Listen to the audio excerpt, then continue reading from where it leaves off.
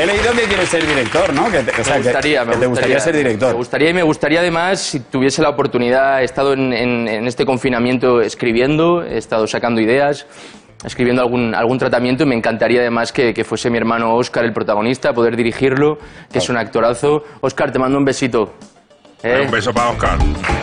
Este sí que viene fuerte. Este, sí viene fuerte. ¿Viene fuerte? Viene muy fuerte, sí, la verdad que tiene mucho talento y, y estoy muy orgulloso de, bueno, de él y de, y de- todos mis hermanos que ven justo de, de- de- de hacer un viaje familiar con ellos y estoy todavía como tontorrón, ¿sabes? Ay, qué bonito. Si fueses director, ¿te contratarías a ti mismo? Sí, sí, sí, sí. Sí, sí, sí, yo creo Pero que de al final- secundario, ¿no? De secundario, No, uno no. que sale en un bar. No, sí me contrataría porque creo que al final trabajo y, soy, soy, creo que eh, cada proyecto que hago me dejo la vida. O sea, es la, la- la entrevista. ¿Sí? Tengo miedo, o sea, va a aparecer alguien, me va a dar un susto.